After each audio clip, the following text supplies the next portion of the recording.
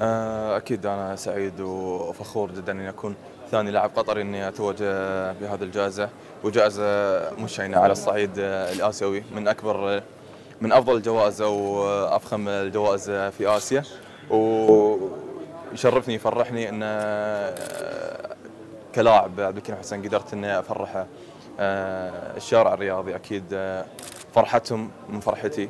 فالقادم إن شاء الله القادم أفضل إن شاء الله أكيد مطلوب مني إني أقدم المزيد والمزيد.